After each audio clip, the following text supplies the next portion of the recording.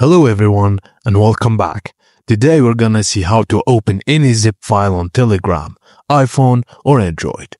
If you have received the zip file on Telegram and are unsure how to open it, don't worry. This tutorial will guide you through the simple steps to access zip files on both iPhone and Android devices. Firstly, launch the Telegram app and find the zip file in your chat. Tap on the zip file to download it and open the Google Play Store. Search for RAR or ZArchiver. Both work well for extracting zip files. Install your preferred app. Now, open the file manager on the installed zip app and locate the downloaded zip file in your downloads folder. Tap on it and select extract. Your files will now be accessible.